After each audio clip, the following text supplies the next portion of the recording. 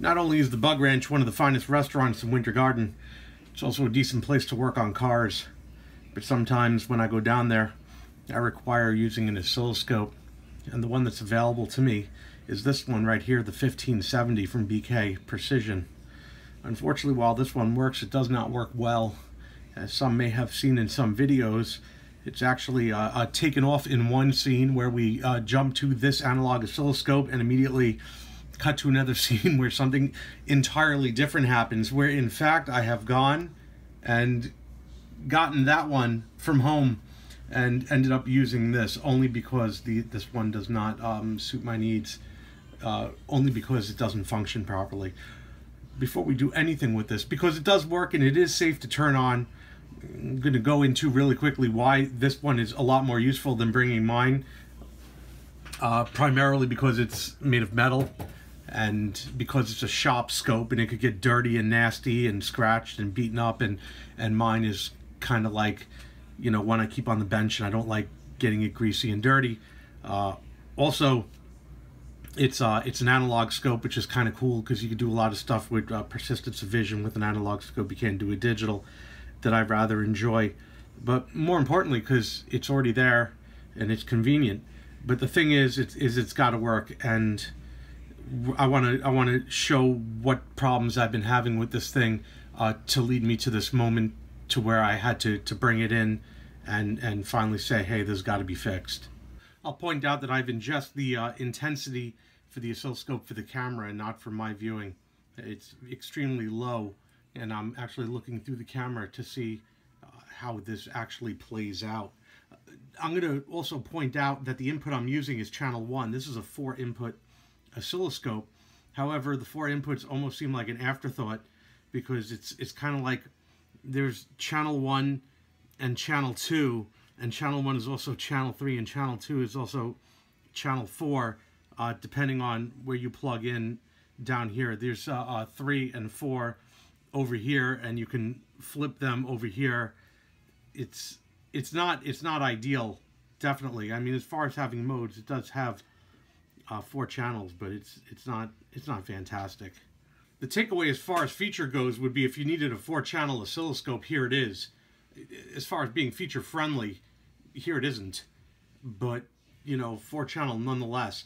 So if you wanted to adjust for channel one, you could adjust here and, and channel three would be here and you'd have to pull and, and do this and that and XY is only supported by this and that and and you have to read the labels very carefully. And this could be channel 3 or external triggering for A, and channel 4 or external triggering for B. And, and it's absolutely a mess. When you, when you look at the labels, you could see the, the fault in, in the design. Again, however, infinitely better if you needed four channel oscilloscope and didn't have one. But I digress.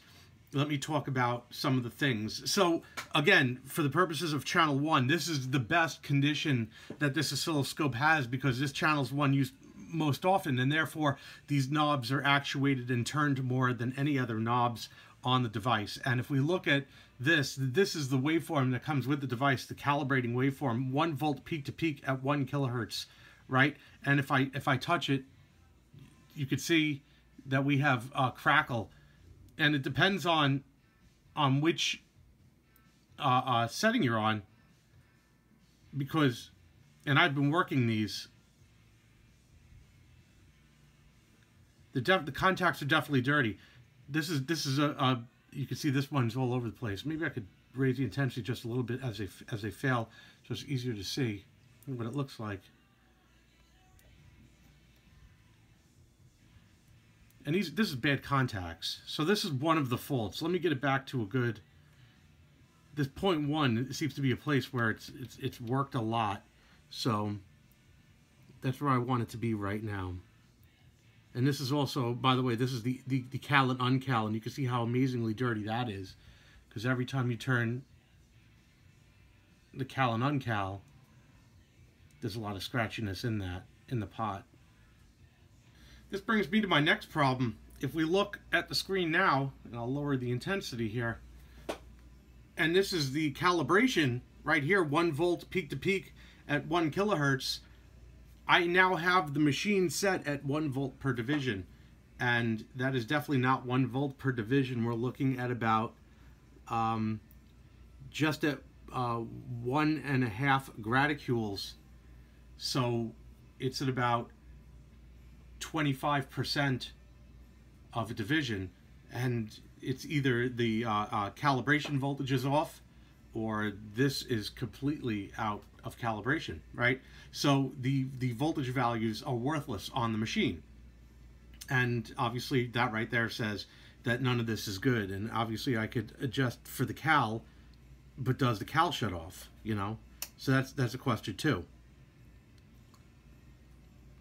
And that, by the way, pulling it out is the five times gain. And that, that one's also dirty.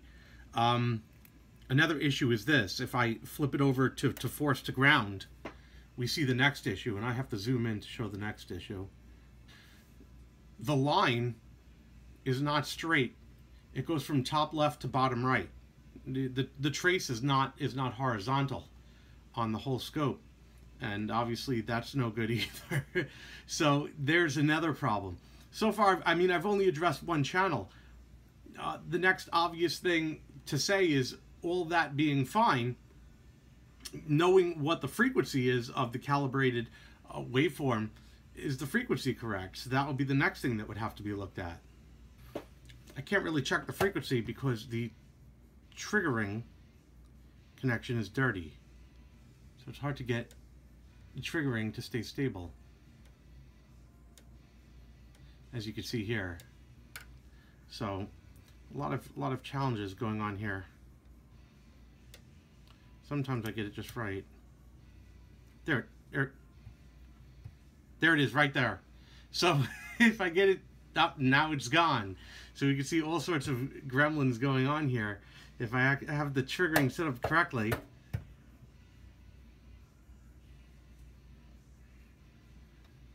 we could see that I could actually get the timing to, to at least display something, you know, with actual, looking at an actual waveform and there. So, so all sorts of, of, of definite uh, cleaning has to be done on this thing before anything else. And, and that's what, that's what we're working with for starters. I've taken the cover off, exposing the components inside. We could see, uh, obviously CRT, I got to be careful not to damage, and about 8 million different adjustable pots. I started with the cleaning of the uh, pots up front using uh, some of my deoxit as well as these up here that I've had to open to really get inside and clean. It's going to take a while to use the deoxit there to get all of those uh, different knobs. That's the first thing I'm going to do to see if I can clear that up. Obviously I'm going to need some sort of calibration manual and method uh, to see how the rest of this is going to be accomplished. I want to point out that I've switched over to the Feeltech. I'm still using 1 kilohertz, 1 volt peak to peak, but I've switched over to sine wave. It displays nicer on the oscilloscope for the testing that I'm doing right now. So this is where we're at right now, and I, I realize the triggering is still suboptimal. I'm working with what I have available. The triggering portion wasn't fixed yet. Right now we're still up top here. But I want to show you aside from some of these that I've, I've cleaned up, intensity and focus, that are no longer scratchy, I want to show you some, this position is nice and smooth now. Moving the position up and down no longer crackles. So that one's good. And the volts per division is now really nice. Let me bring this into the middle here for a second. I didn't say by any stretch of the imagination that it's calibrated, but they're all working really good now. That's the, the lowest right there. Or that 5 volts per division, 2, 1.5, 2.1. And then we get into the, the millivolts, which obviously we can't see at this level, but at least they're not dirty anymore. And that was that was quite an effort to clean up that connector because the way that it's designed. It's worth noting right now that the function generator is set up to 1 volt peak to peak and now that I've got everything just as I want it, we can see that this, while not perfect, this is sitting at just about 1 volt peak to peak. Still requires a calibration of sorts, but it's not far off. Not bad at all. I'm going to clean up this input, these switches, everything up here is what's going to be done now. I'm going to unplug, discharge the CRT, do everything up top, and then come back. However, it'd probably be a good idea first to switch to channel 2 and do before and after. This is channel 2, uh, set up the same way as channel 1, using the same triggering method that just allows it to trigger. Let's take a look at the quality here. So I'm going to flip through these and dirty connections. Yep, hold on. It's in there somewhere. Yeah, I can't I can't hit that one. It just sort of if I go really fast I could get it. Yeah, these are gone. That one's the wrong one. And that one just appears yeah. So so these are all shot. You can see that's what it looks like. All these connections are bad up here. We're going to fix that now. While all this is going on, let's see what we could do to the case. Take a look at channel 2 now. Now that everything's been cleaned, I've got, got everything in the center position. And we'll start the beginning.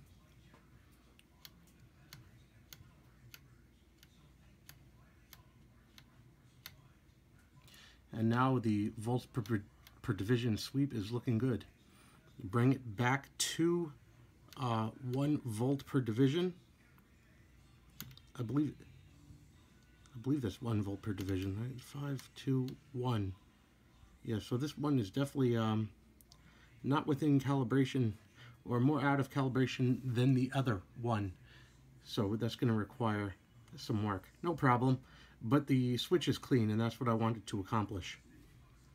Let's also check the channel 2 inversion. And channel 2 inversion works good. Let's make that a little bigger so we could see that. Inversion is working good. So, And obviously we're not going to see any bandwidth limitations, bandwidth filtering at this frequency. One thing I did notice is these two knobs here for the trigger, uh, not the ones on top, but the ones here inside the level are completely frozen for both of them. I find that very peculiar. Um, I've taken them off, the plastics, lest I break them, and I'm going to try and unfreeze them with some deoxit from the inside now. Sure enough, working it with a little bit of deoxit uh, did the trick. I was able to unfreeze it. It's a good thing I didn't use the plastic knobs. I surely would have cracked them. I'm going to work these and then treat them just like any other bad contacts and clean them. Get both of them working again and finally have uh, um, working triggers on this oscilloscope be able to work on timing and then ultimately calibration. I was able to loosen up the other one too using the same method. These have uh, uh, quite a different feel to them. They're not, they're not, they have some torque behind them. So, but they turn nicely now. So I'm going to be able to put the tops back on. This one's already uh, put back together. It has the switch back on. And now because we have uh, the ability to trigger properly, I'm able to set this up um, with a source from channel 1, which I've done, and the, the slope and level is able to be set. So you see, this is how we used to have to deal with it, and there was nothing we can do. And now I can set the slope, and, and being able to set the slope, obviously, I can set the time. And, and this portion up here, this top portion has not been done yet. So only down here and the other side of the scope. So the time is still dirty. However, I bring this up. However, now that the triggering is working, I can actually go and do some do some things like look at the the uh, um, the uh, uh, time. I know that my my function generator is uh, at one kilohertz. I know what I could set the time division to, and then I could go and take a look and see uh, what the time calibration is. Obviously, I'm not doing that now. I'm just making sure that the the triggering is working properly too. I also set it to normal and see that that works as well. So another piece of the oscilloscope is now again working properly. So very good. I cleaned up the uh, sweep time division circuits over here. Again, not calibrated, but working at this point. And I've set up the uh, frequency generator for an individual one kilohertz, one volt uh, sine wave going into channels one and channel two. And right now, we are looking at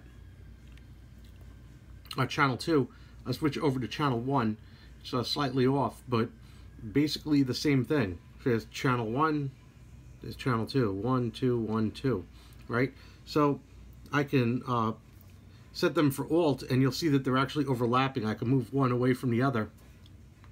We can see that both of them are actually there.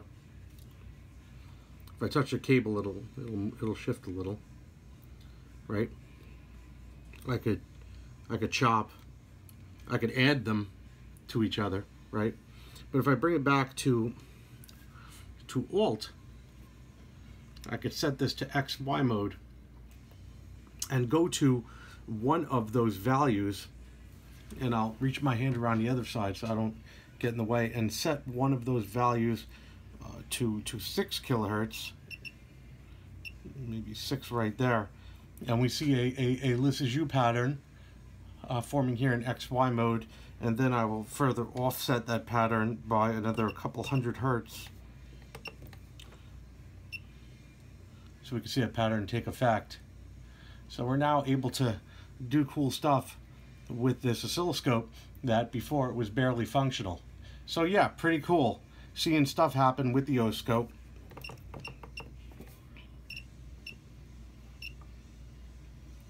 And at this point already, it's time to um, pull the uh, guide and see how this thing could be calibrated because everything working, we know that it's not calibrated and that's the final step. The other thing is the case is still soaking in the bathtub with degreaser. We'll see how that's coming along as well. The case is cleaned up better than I thought. Um, unfortunately, with all the uh, grease and oil and possibly a lot of heat and humidity that this has been exposed to over the years, uh, the paint has essentially turned into powder. And once it was washed, you could see that the, the paint just basically comes off of the unit it, it's on there, but it's not. And anywhere that you would uh, wash it, even lightly agitate it when it's wet with a paper towel, uh, removes it. Uh, but it's aluminum, and it doesn't rust. And it could be it could be left alone because it's a, it's a shop unit, and it really doesn't matter. And it probably could be covered with grease again, or it could be uh, taken apart. All these uh, components could be taken out, and it could be repainted and then reassembled. Uh, as far as the hardware goes, you know, the hardware sound on the unit. You can see it's seen a lot of moisture. There's there's uh, pitting on the chrome. Not a big deal, but at least it's not filthy and disgusting anymore. And that's really what I wanted to accomplish and have a, a good look inside as I always do, just like on the Heath kits, and make sure that, you know, it wasn't waterlogged, there wasn't any water damage, and I didn't expect there to be. So that's the cleaning of this unit, and we can also see um, in cleaning this unit, uh, the back, the boilerplate, and the model information for it. So there it is.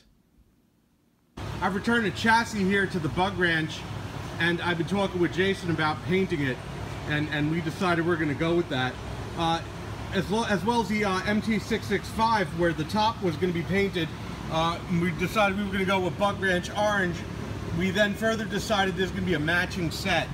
So we're going to use the Bug Ranch Orange uh, to repaint this oscilloscope uh, chassis that no longer has paint on it. And this will sit on top of the MT665 back there, which the also will be painted in Bug Ranch Orange. It'll be a nice match. Yeah. I think that'll be pretty cool. I'll be gone for a couple weeks. Everything will be nice and cured by then. It won't be no cheap ass rattle can paint. It'll be nice paint. Good? Good. I like it. Me too.